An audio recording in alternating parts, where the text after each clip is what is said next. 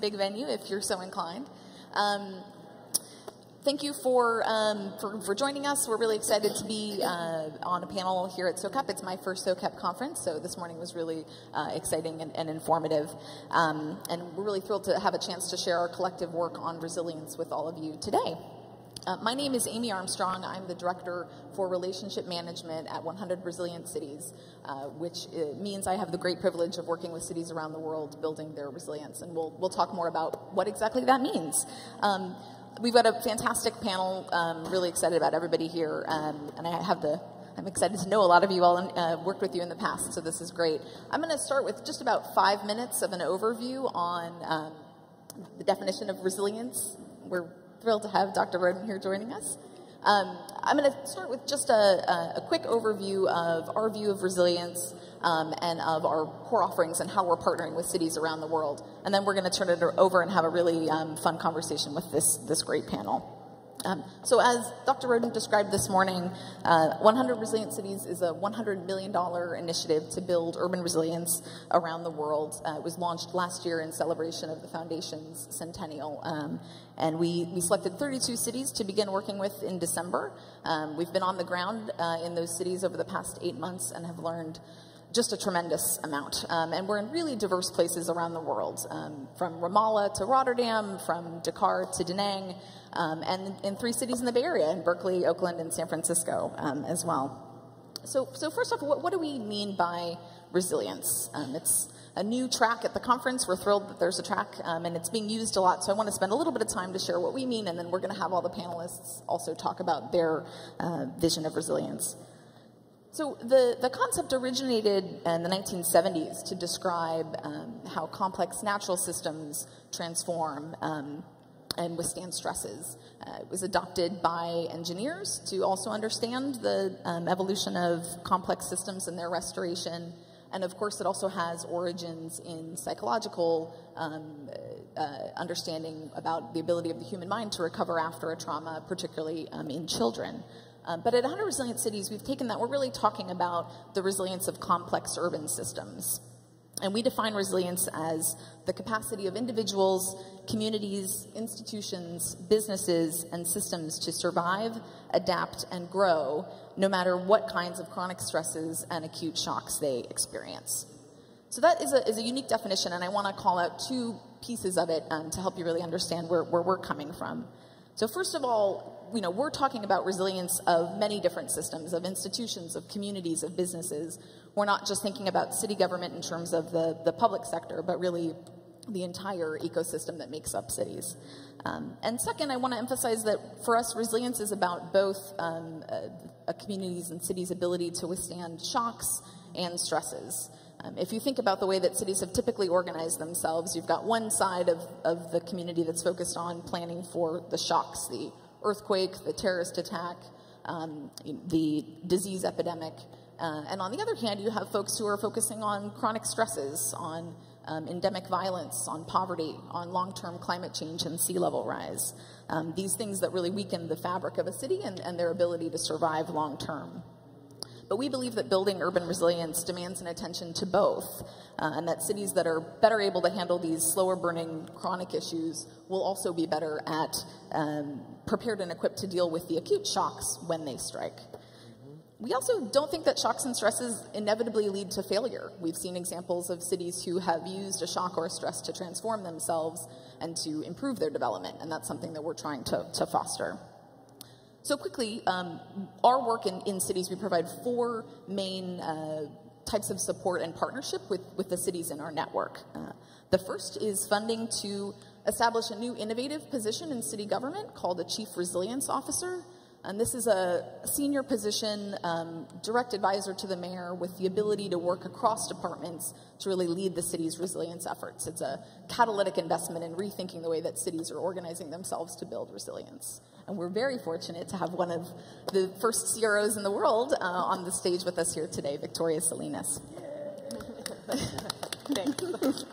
uh, second, we uh, provide support for that CRO to lead diverse stakeholders in the development of a comprehensive resilience strategy, um, which will result in a list of actionable initiatives that improve the city's resilience. And I want to pause because I think this is a really important part of our work um, for people in this room, um, because this, the initiatives that come out of the strategy process in all of our cities are going to be things that are fundable, are going to be things that signal to the marketplace what the resilience building priorities and opportunities are in cities.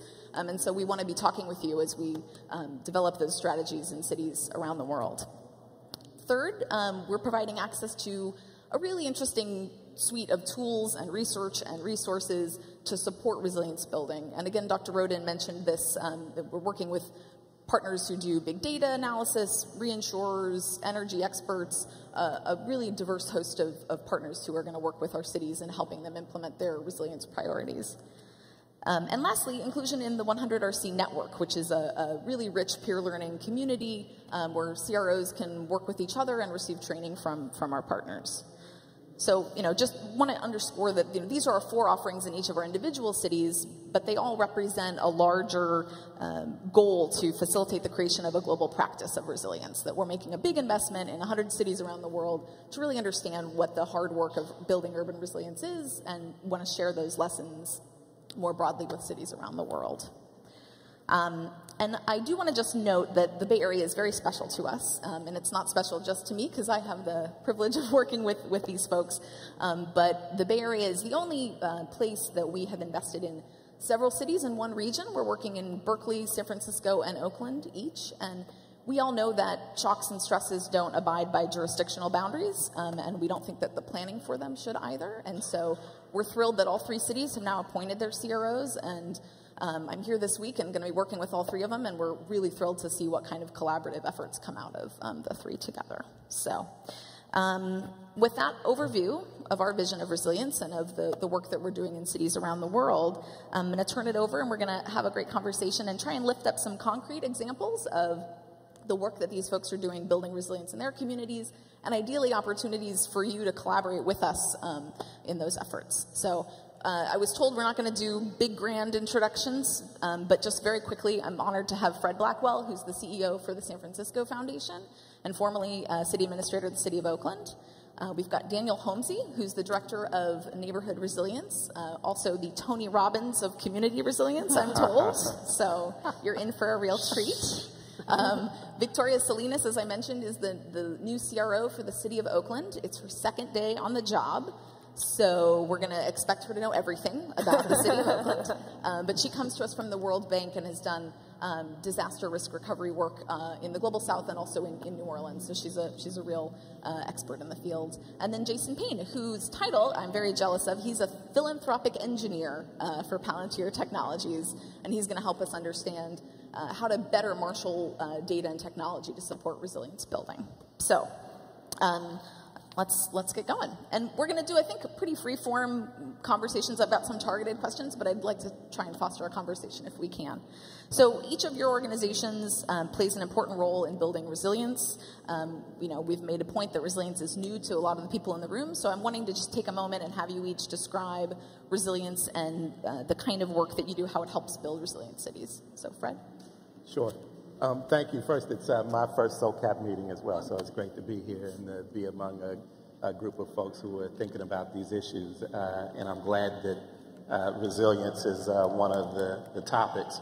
Um, I think way I would come at this is kind of from two directions. One, um, you know, wearing the hat that I have on now at the San Francisco Foundation, obviously uh, our priority is to, and our focus is on nonprofit organizations uh, throughout the Bay Area. We provide uh, all kinds of support from general operating support to uh, technical assistance and, and capacity building uh, on areas uh, related to education, arts and culture, community health, and, and the like. And so for us, I think practically, we actually view these community-based organizations and nonprofits as some of the key institutions uh, for resiliency at the neighborhood level, and that manifests itself uh, in a variety of ways. One way is obviously through uh, the basic services that are providing. A lot of the groups that we uh, support uh, are providing basic social safety net type services, and we think that that is a very important part of uh, the resiliency equation throughout the Bay Area. But I think another very important aspect of the, um, the work is um, the social capital component of resiliency. Um, we know from uh, past experience that uh, low-income communities and communities of color are the kinds of communities get, that get disproportionately impacted when there is a, a natural disaster or some other kind of uh, earth-shattering event. Uh, and so we think that we have to uh, invest in those communities disproportionately. Uh, and so for us, uh, this is not a one-size-fits-all or shotgun approach. We actually think that the likelihood of disproportionate impact uh, will require disproportionate investment in a variety of ways. And I think one of those ways is around social capital and social network. Um, and so that, that's one dimension of, of, the work. The other thing I would mention, though, is wearing my previous hat at the City of Oakland, one of the things that uh, struck me when we first kind of responded to uh, the opportunity to, to um, be one of the uh, 100 resilient cities and be a part of that cohort uh, was that your definition of resiliency uh, varies dramatically based on your background uh, and your experiences. So, for example, in Oakland, when the police chief thought about resiliency. He thought about it in a very different way uh, than uh, the public works director or the housing director. Mm-hmm. And, and, just to be specific, you know, the police chief, when he thinks about resiliency, is thinking about response. Uh, how is it that we have the infrastructure to uh, respond when that disaster occurs, uh, secure the environment, keep it a safe environment, make sure that everybody uh, in the city has the ability to respond uh, and to be safe. The public works people thought about this as an infrastructure issue. What is it that we need to think about from a transportation point of view uh, to um, make sure that we have uh, all of the, the sidewalks and the sewers and the utilities and all those things up and functioning as soon as possible after uh, something bad may occur?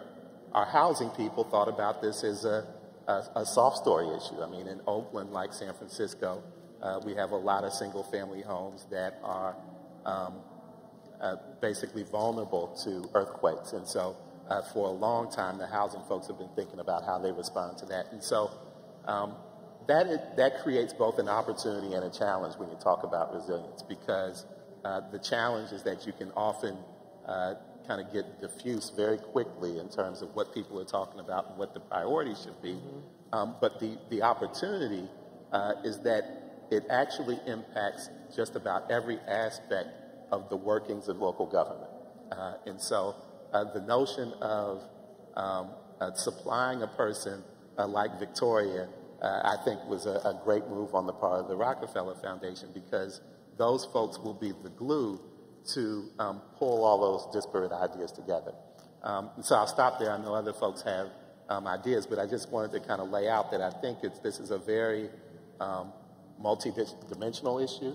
Uh, and I think it's important to understand that everybody who comes to the table to talk about and think about and strategize around this issue will be coming at it from a different angle. Mm-hmm. Um, I think, uh, first of all, I want to just acknowledge it's an honor to be here. I'm here in uh, the stead of Patrick Otellini, uh, I believe the world's first Chief Resilience Officer. so uh, I just want to thank uh, everyone for the opportunity to come in and, and share a little bit in the, building on Fred's remarks, I think they're, they're foundational. I would just put out there that uh, I think there's certain ways to look at resilience uh, in, in, in, the construct that we sort of take every day in San Francisco is that certainly the, the outputs, like you can look at buildings and how they'll perform in an earthquake. You can look at the sewers and see how well they'll perform in an earthquake. But resilience, in many respects, is really about a condition, a condition of an organism, right? And uh, when we work with neighborhoods, we actually uh, want to help them understand that they need to advocate to make sure that uh, they have adequate access to the kind of support they'll need during times of stress. But we also tell them that resilience is about the ability to maintain that condition. So we look at the five functional elements are, you know, can you govern yourself? Can you communicate? Can you problem solve? Can you organize uh, yourselves to get things done? And can you manage partnerships and relationships? And we believe that really at the essence of resilience is a condition. It's your ability to function at a certain level. And, uh, and we work with uh, not only ourselves at City Hall around those five functional areas, but also work with our neighborhoods. And And being the director of neighborhood resilience, uh, you know, I was honored to actually tour the neighborhoods of uh, New Orleans after Katrina with Mayor Lee. And Mayor Lee really saw that the total failure in New Orleans, uh, everything was avoidable. No one really had to die in New Orleans. I mean, the storm had blown over for three hours before the levee started to fail. Everything that went wrong, wrong in New Orleans was an engineering failure, pretty much. Um, and when you build pump houses, but you don't have a backup generator, for example, not a good idea. Um, bottom line is what Mayor Lee saw was a total breakdown in the ability for residents who knew what the problems were to be able to work and trust their government to solve those problems. And that's what you saw post Katrina was that lack of trust, that lack of transparency, that lack of capacity to work together is really what drove New Orleans into that horrible spiral of five recovery plans before they could actually get back on their feet completely unacceptable. And I think what Mayor Lee took away from that was that, that this is a social justice issue, that resilience is not a condition that government should have and other folks shouldn't have or shouldn't have to worry about.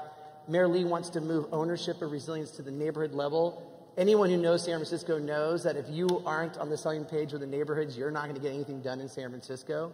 Uh, so the truth is, if they're not the same place with you, understanding why the city wants to advance its goals and priorities, you're not going to get it done. And the mayor has prioritized uh, that uh, uh, as being a top objective for myself and Patrick and everyone else who walks in the building every day.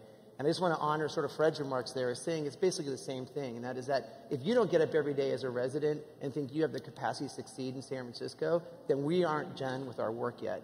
And I think resilience is all about success.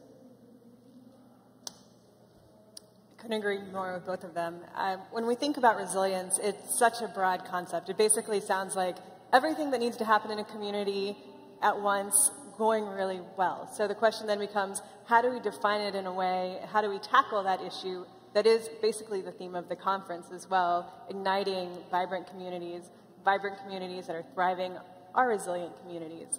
So one way that I try and think about the concept of resilience and that we, uh, in the international uh, development world have started to try and break it down so that it can, so that we can have actions and we can work together concretely is using kind of five five pillars of action so to speak. One understanding risk. Do we know all the risks in our community? We've talked about climate we've talked about disaster social environmental so many types of risks that face people in their day-to-day lives. How is that information actionable? We've got a scientific community that works on probabilistic modeling to kind of understand the trajectory of those risks.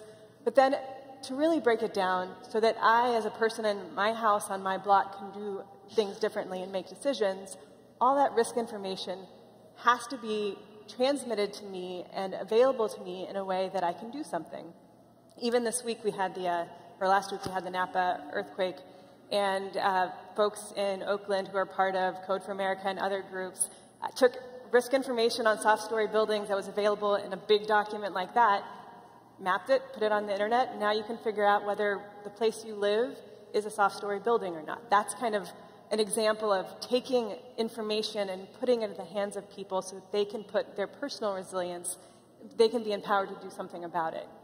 A second big focus area is reducing risk that gets to the infrastructure challenges that Daniel mentioned, the large scale things like the levees, like seawalls, like all those different things that no one person can really tackle on their own because they take millions of dollars oftentimes, engineering studies, all kinds of, of work to really address the risks the community face. But reducing risk, one ounce of prevention, as everyone knows, really helps in the long run. And, and there's been plenty of studies that show putting four dollars into putting one dollar into that saves you four dollars down the road.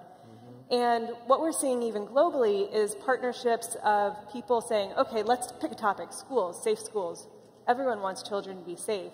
So even knowing what's the risk, are schools safe? And being able to say, this one meets these building standards, this one doesn't, and looking for ways to starting to address those things. So using that concept of reducing risk in every type of infrastructure we're involved in is definitely part of uh, the way that we can think about looking at resilience in a, in a way that allows us to start working together. Uh, thirdly, preparedness. The business community thinks of it a lot in terms of business continuity. The, government, the public sector thinks about it in terms of being prepared to respond to disasters. and really investing in preparedness and really thinking through what are those things that we must have in place now that we can be doing now to make sure that we can withstand any shock that comes our way is something that is tremendously important.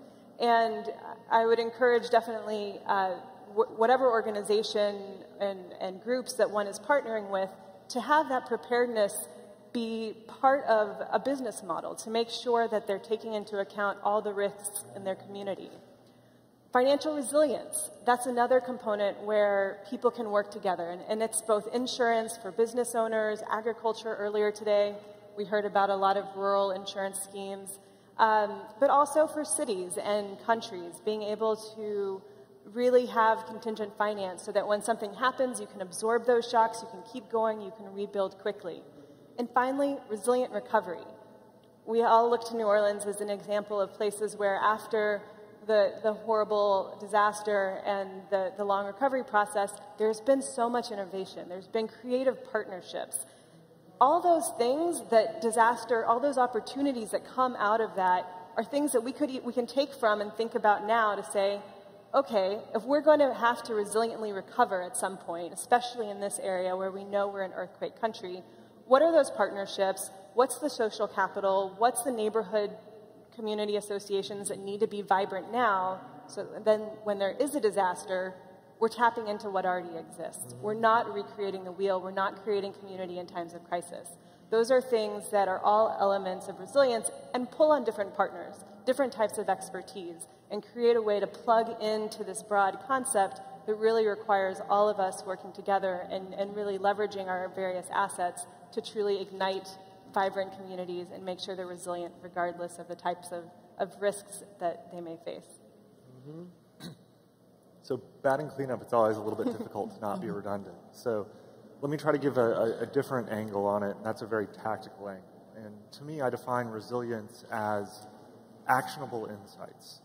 Uh, the ability to find where those investments are required to improve the ability of a community to recover from an acute shock as well as a chronic stress. And I think the, the real key to uncovering those actionable insights is collaboration. Uh, I'm a data scientist by trade and find myself looking at the world through data. And what I've found is that all of the data across the three sectors in a city is there to uncover those actionable insights to then make those investments to improve the resilience. It's just a matter of getting all three sectors to work together, sh- share data in a secure fashion, et cetera. And looking at the three cities in the Bay Area, you're probably talking about uh, tens of thousands of NGOs, hundreds of governmental entities, and hundreds of corporations that are involved in that equation.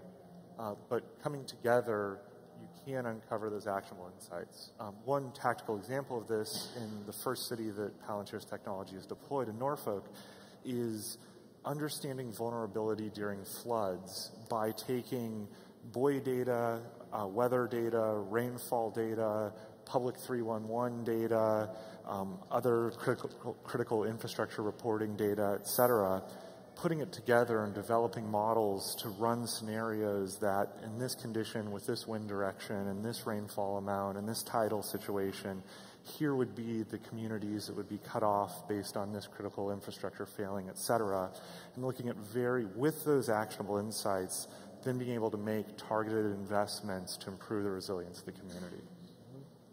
Thanks for, for that example, Jason. I, I, failed to mention that Palantir Technologies is one of the, our uh, founding uh, platform partners, and I actually have been working with the team in Norfolk, Virginia to develop the kind of modeling that you're referring to, and it is going to be transformative for the community in good times and in bad times to understand the impact of water on, on their resources. Um, that was really helpful. I mean, I think there were some common themes. We heard a philanthropic perspective, a, a public sector perspective, and the private sector perspective, but a, but a real common theme was community uh, and social capital. Um, and whatever, if you're focused on uh, preparedness or recovery, um, supporting and empowering communities and local stakeholders to be a part of that process, I, I really heard as a common theme.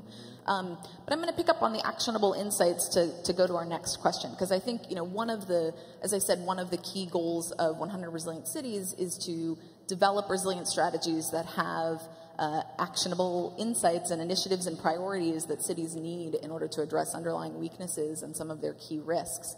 Um, and all of you have diverse experience working in municipal governments. Um, and I'm wondering, you know, if you could help share some examples of those kinds of initiatives that maybe the market hasn't quite understood yet.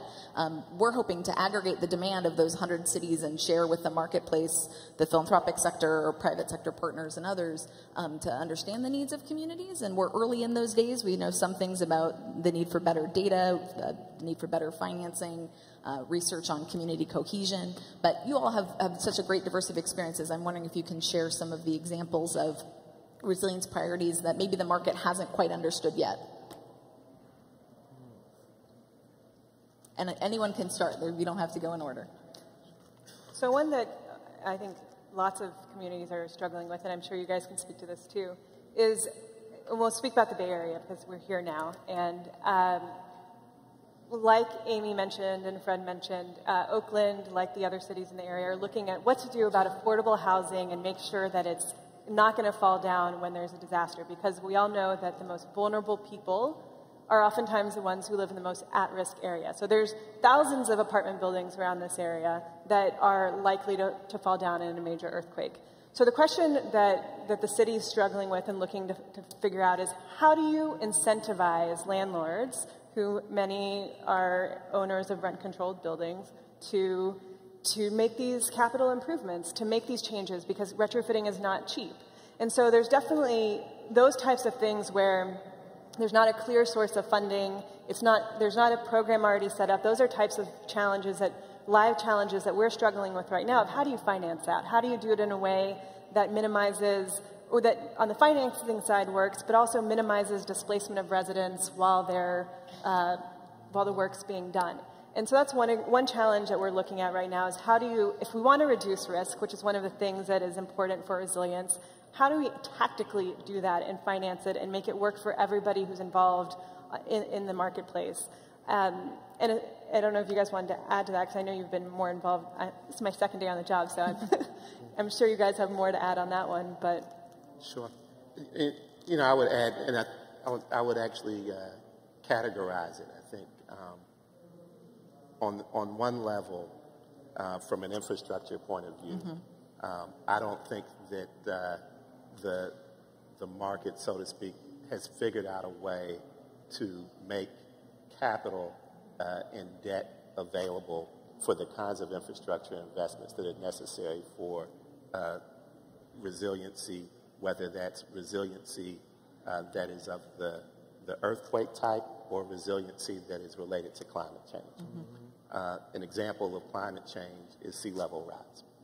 Um, we uh, have not, uh, and the market has not put together, I think, uh, effective tools that will allow us to invest in waterfront development, infrastructure development, and other things that will allow for the kind of um, uh, adaptation uh, to sea level rise that I think will be necessary. And so I think that that's one uh, category.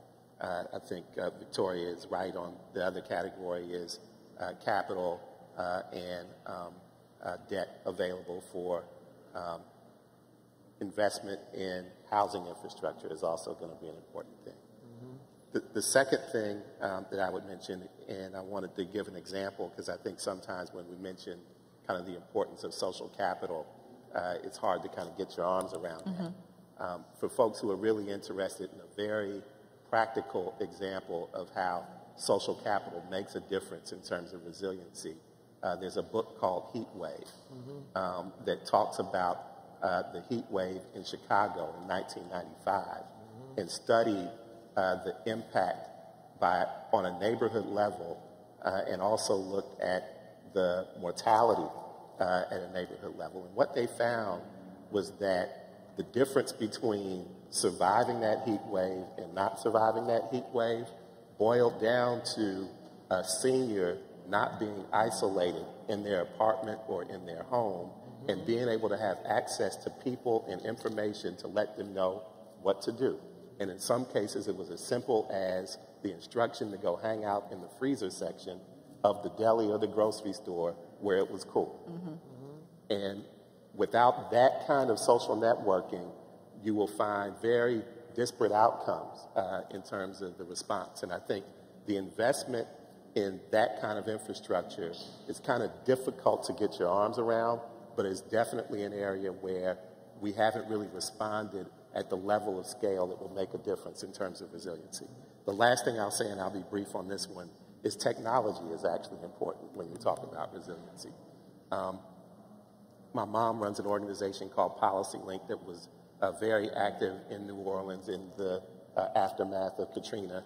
Uh, and one of the very simple things that they did was create a website for the people who got displaced so that they could have access to information around how to get back, what kinds of institutions you should go to, what kinds of city programs are available, what types of community institutions are there to help you. So the idea of using technology to get the information out and to arm people with the information that they need for their own resiliency and to rebuild their lives is very important.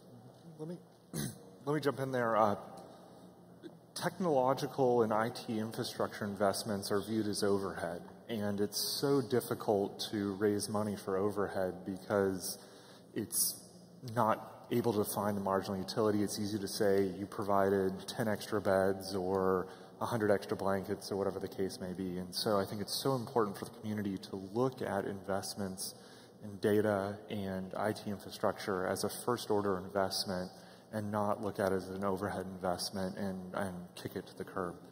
Um, that being said, overall resilience, I think that the, the underinvested area is around those chronic stresses that exist in a community. And this is primarily around nutrition and health, in my opinion. And this is something that I was on the, the drive up here this morning was reading the report from the Global Fund for AIDS, Tuberculosis, and Malaria, and how the Ebola outbreak has affected their abilities to do program effectiveness in West Africa. And the reality is there will probably be more people that die from malarial outbreaks because the infrastructure fails and they don't have the ability to correctly distribute bed nets and anti-malarials where they're needed than actually folks that, that perish from Ebola. And so to me, I think it's incredibly important to look at the uh, chronic conditions and the chronic needs of a city, and especially doubly so, how those are affected during the shocks and how those people that are vulnerable before the shocks have those vulnerabilities mitigated during a shock. Daniel, do you have anything to add? I just want to sort of add to um, Fred's point. I mean, the, the heat wave example is a very personal thing for me. Um, in 1999, my aunt died in a heat wave uh, in her house on top of Twin Peaks. Uh, and uh, she laid there for three days, and her neighbors drove by because who ever heard of anyone dying of a heat wave in the middle of summer in San Francisco, right? And I think this brings this full circle, and I, I know our colleague here uh, is trying to ring the bell here a little bit about this, that our planet's changing. Uh, we had two heat waves this year before March. In San Francisco, if it's 85 degrees, that's technically a heat wave. Um, the truth is, our homes in San Francisco don't have air conditioning. And so all of a sudden, San Francisco has been thrust into this new reality where we're going to have a growing, growing, and growing number of events that are heat related, and the residents are not acclimated, and our homes are not ready to perform. And a lot of the buildings downtown that have been built to see, be energy efficient are now emptying out on hot days because people can't work in them, right? And so there's a difference between resilience and sustainability. That'll be another breakout session, right? But the point is this. This March, uh, this May, I was on vacation, and my father was on a diuretic, and he was uh, took a Claritin, and he called his doctor, said I wasn't feeling well. Well, guess what? Uh, even though his doctor said drink water, my dad was tired. He went and lied down. He couldn't even make it to his bed. He fell face first on the floor. The first time in 90 years, this man was not able to stand up on his own and he was heading towards the same terrible fate his, his sister had died 10 years earlier. Well, guess what? You know the difference is? 8.30 in the morning, my brother, who I grew up with uh, next door, not by blood, but by spirituality, checked on him just to make sure he was okay, picked him off the floor and got in the hospital and saved his life. And I want to point that out because in the end, all this data, all this information, if it doesn't point to that moment when we can be there for each other, where we can be a mentor to a youth that's about to turn the corner and make some bad decisions and be a voice from outside that might help them make some smart decisions. If all this technology and all this investment doesn't make sure that at that moment we can contribute to each other's success, then we're missing the opportunity. And I just want to put that out there as a challenge perhaps is how do we make sure that when our chance to move forward on our condition and be resilient as a community is before us. How can we make sure we're ready for that moment? Someone was ready for that moment for my dad. I just want to make sure that that's the case permanently for every resident in every city moving forward. Wow, some really personal and important examples. Thank you all. I, I think um, if I some of the themes there again are around the intersection of social capital and investment capital. Sort of how do you structure financing mechanisms that help soft story retrofits in vulnerable communities ensure the building stands up, but also thinks about what happens to the human beings in those homes after an earthquake. Um, and appreciate Jason the, the thinking about the longer term chronic stresses.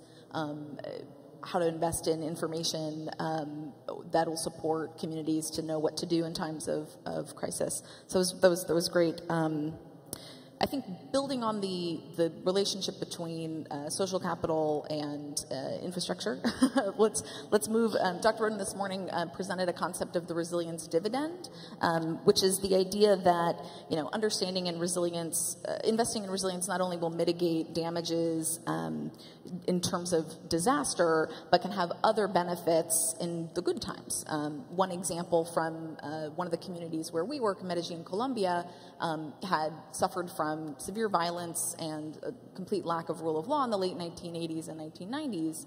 Um, the city government there made some really tremendous investments in public transportation infrastructure. They built public gondolas that had open community centers. They built uh, public escalators, they built bus rapid transit. Um, and so, you know, what was on its face a transportation hard infrastructure investment, um, which did reduce, increase mobility and reduce carbon emissions and all those other things you'd want, also had the, the impact of connecting communities that had been warring, um, opening up uh, neighborhoods, making it more transparent and safe, and had a huge reduction on violence. So um, I'm wanting to get some examples from you all about investments that you've seen that may have been targeted on one thing, a, a transportation infrastructure, um, but had some other really important benefits for social capital or other aspects of, of resilience. So again, anybody who would like to take that. Sure. One thing that's live right now in Oakland, so it's a project in process, um, is the, the there's an area that goes through lots of different neighborhoods called International Boulevard corridor. And uh, when we're speaking about, and the point I want to make with this kind of project is that I, that the way we design our in, our individual projects and work together and partner, and the way we partner with people can have resilience dividends way beyond one specific initiative, one specific specific investment. So in this area of Oakland that goes through what they call the flatlands, which is where a lot more of the underserved community is and is also very highly vulnerable to different types of risks, uh, they're looking at an integrated economic development program. So on the surface, it's transit-oriented development. It's looking at all these different pieces coming together. But really, it has an opportunity to bring in partners and, and work with different aspects of those communities and neighborhoods along that corridor to build resilience in a really meaningful way. Not only because it's going to be improving mm-hmm. ac access to transit and connecting people, but it's an area that has many more renters who also have very low incomes, and so the whole affordable housing issue has an opportunity to be tackled. There's people who only, the, the labor market there is primarily people who have low income jobs in, in kind of the service industry and some other industries, and so there's a chance to really ignite and build uh, much more energy and, and, small businesses. There's vacant lots that have, if you get creative and you're looking, there's so many businesses wanting to come to Oakland and migrate there that you can start to get creative with this corridor about the possibilities. And there, so, so the point being that in a specific place with specific people and their specific problems, you can start to bring people together and partners together to really say, how do we make them resilient? How are we building together? How are we achieving and igniting this vibrant community? And so I think that's one place where I'm hoping that over the next couple years, and maybe even with some of the partners here in the room, since Oakland is looking for partners for this project, this initiative, that together we really help this one area be a model for building resilient neighborhoods, uh, vibrant neighborhoods, and tackling some of these stressors that really are the hardest, some of the hardest things to do. The, the disaster related ones, the big shocks, people don't tend to want to invest in because they think it's going to happen way down the road. So it's that set of challenges. But the stressors, the poverty, the, the low education outcomes, etc., have a huge impact on people's ability to thrive now and recover after mm-hmm. disasters. So that's those types of projects that are place-based, community-specific, really give us this opportunity. I mean, just to add to that, I mean, when Harvard Kennedy School of Government uh, noted that whatever trends are in place, good and bad, before a disaster, accelerate. So if your local economy is struggling before a disaster, it's just going to get worse, right? Um, an example, just to put out there, and again, I appreciate everyone giving me a chance to share a little earlier, um, is that uh, we had a neighborhood in Bernal Heights where the merchant corridor was struggling because rents were going up, but the small businesses were actually seeing a lot of people leaving the neighborhood to shop at some of the competitive, like large box stores in the, in the area. And they were like, how can we keep our neighborhood money in our neighborhood? So they created something called Bernal Bucks, right? which were they actually attached to $5 bills stickers that said Bernal Bucks in it. And that way, when you went to a store and you used one of those $5 bills, you got an extra 10% off, you got a free cookie or something like that. Now, what was important about that was getting people to understand that post event, your world collapses. You may not be able to get on the freeway and go out to Serramonte and buy a $10 suit at you know, Best Buy or something, whatever. You have to, you have to stay local. And what it does is gets people to understand the power of a local economy and the power of influencing your local economy. And frankly, what a lot of people are talking about in our neighborhoods right now after disaster is how are they going to continue to shop and, and share resources if they can't use their electronic uh, uh, currency? And so this idea about creating hyperlocal currencies actually nurtures their, their belief that they can actually do something like that. And so the Bayview right now is actually starting to talk about Bayview Bucks as well. And what we're trying to do with our work is not actually come up with these ideas, but help incubate them and then share them through our network of neighborhoods through the Neighborhood Empowerment Network. And I think that's sometimes the best thing we can do is get out of the way um, and let people connect with each other. And maybe that's part about resilience as well.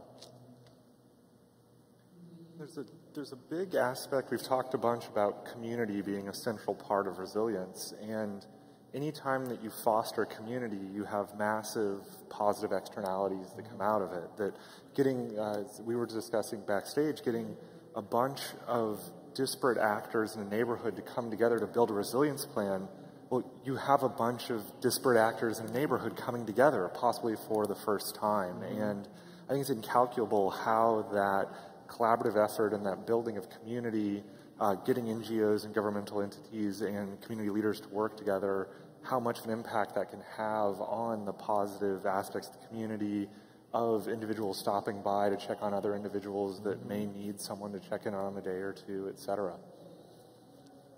So, I mean, the only thing I would do is underline everything that everybody else just said uh, and go back to one of the comments that I made early on, which is that we know, um, based on our experience, that low income communities and communities of color are going to be disproportionately impacted.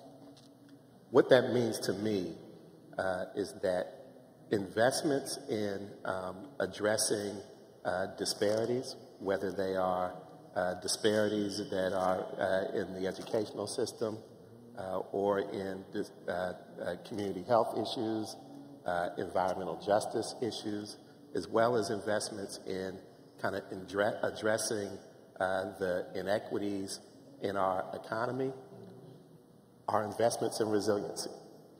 Investments that attempt to level the playing field, that attempt to uh, create equal opportunity no matter where you live or uh, where you grew up or what school you went to, are investments in resiliency. And so I think that it's important to um, understand that frame uh, as we think about this issue. That's helpful. I, I sort of posed the question as if there's going to be some resilience investment down the line, but you all have done a really great job of reminding us that the, the practice of building resilience is, is working with your community um, on long-term goals. It's not waiting for, for the plan and the investment down, down at the end. Um, I think we've got six minutes left. I want to open it up just in case there are questions from the audience that, um, that, that are burning that we can, we can share. Yes, sir.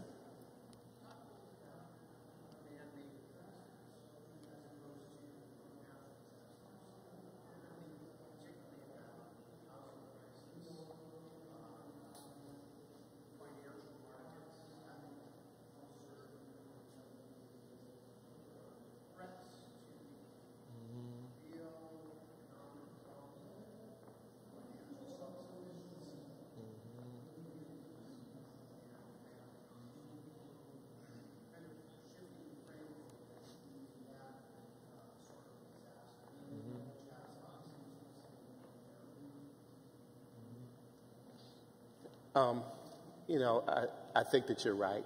Um, and I think an example of that is the uh, when the bottom dropped out of the real estate market a few years ago. Um, one of the things that is not talked about uh, very much is uh, that that was probably the biggest erosion of uh, wealth uh, in the African American community uh, that folks have ever seen.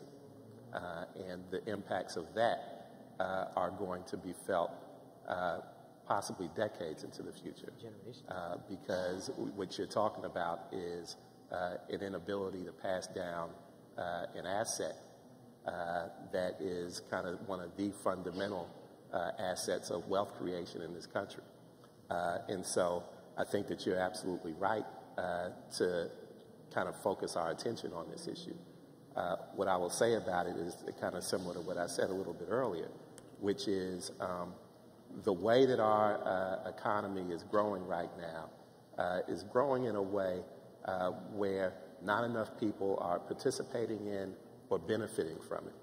Uh, and what that is creating or going to create uh, is a situation where um, our economic health will be in jeopardy. Mm-hmm. And so, this issue around equity uh, and this issue around investing in both the root causes and the uh, effects of it uh, are not things that I'm talking about that we need to do uh, from a moral point of view, although it should be talked about in that way it's something that we need to think about and talk about in terms of the sustainability of our economy. Mm-hmm. Uh, and so I, I, think you're right in, in, raising the issue, and I think it should be a part of the conversation.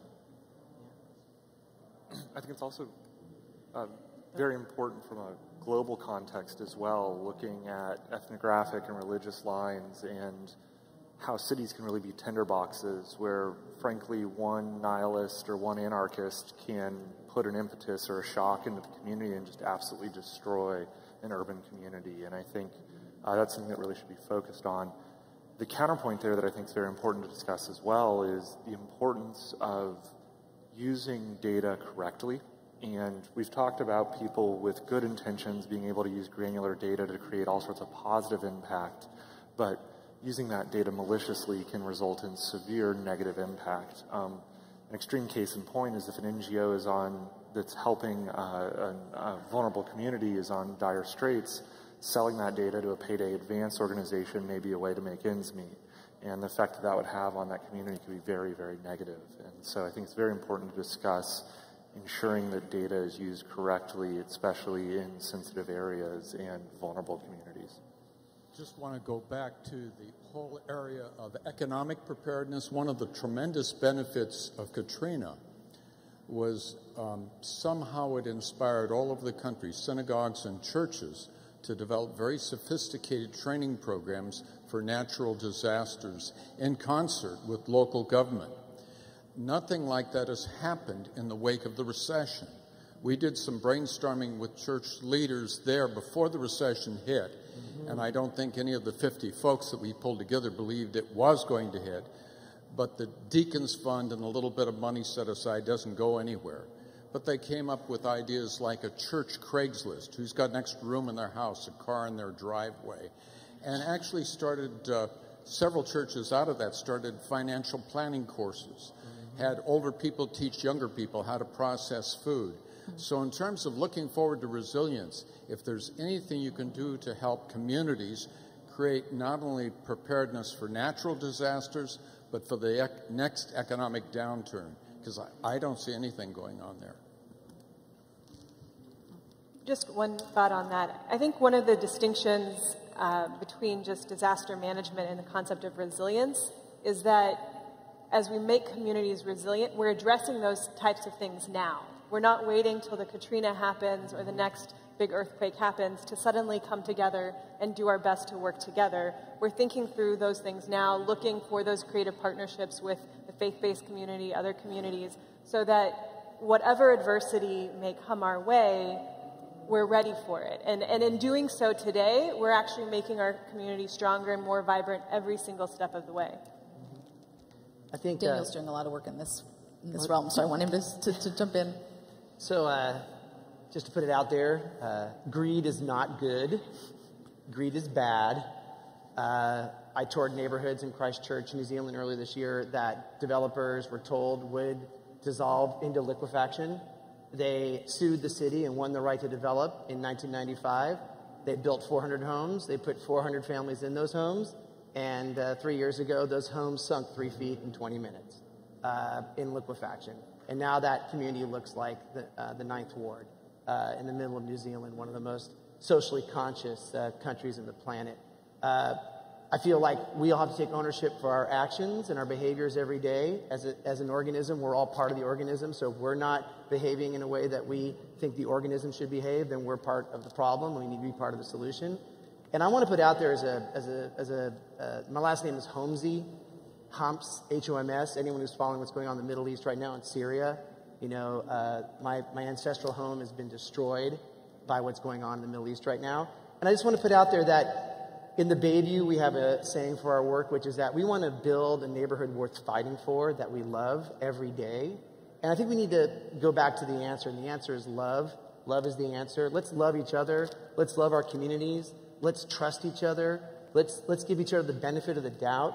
Let's take a risk and say hi to a stranger on the street. And as soft and maybe naive that is, isn't that what really being human is all about? Is feeling connected to those around you? So maybe, you know, we should look at ourselves today when we leave here and, you know, if someone wants to cut in front of you and you still are five minutes away from work, let them cut in front of you.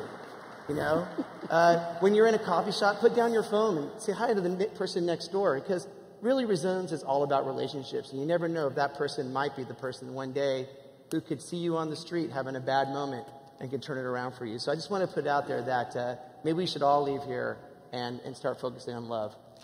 That is a very positive uh, note to end on. So I'm being told to finish up. I'm going to pose my last question, but we don't have time to answer it. But I want to. I like this last question, so you guys can come up and ask them what their answers would have been. Um, I asked them to all think about, you know, in their work in cities, um, what is one really hard to solve resilience challenge, right? And what's the, what's that nut that they need to crack? And if they were to pitch it to a bunch of investors, what would it be? What would they ask for? So you can come up and talk to them and find out what their answer is. But please join me in, in thanking all of these wonderful, dedicated resilience warriors.